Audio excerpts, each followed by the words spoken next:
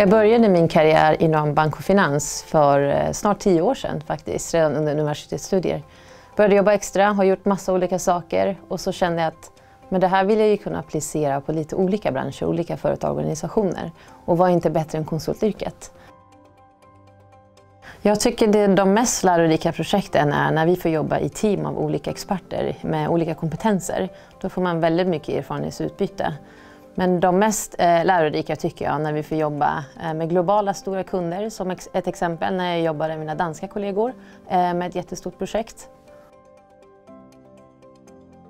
Jag tycker generellt att PA är väldigt bra att investera i sina konsulter. Vi får många möjligheter att jobba såväl affärsutvecklande som interna projekt.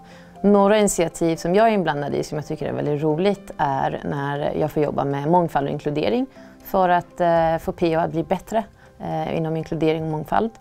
Ett annat är ett initiativ som främjar kvinnligt ledarskap, jobbar med karriärutveckling men också rekrytering.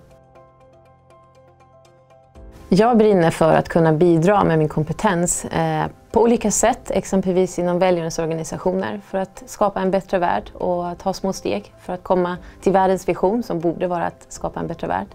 Men jag tycker också om att spela Playstation och spela även piano.